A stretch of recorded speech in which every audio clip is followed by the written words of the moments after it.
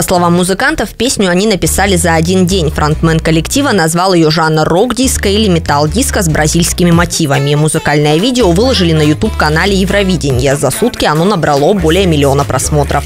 Судя по комментариям, песня хоть и не с первого раза, но цепляет и перестать ее слушать очень сложно.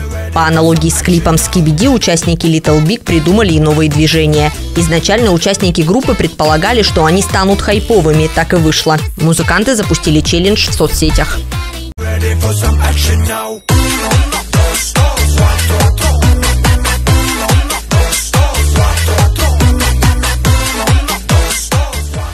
Уна Vision Challenge присоединилась и наша редакция.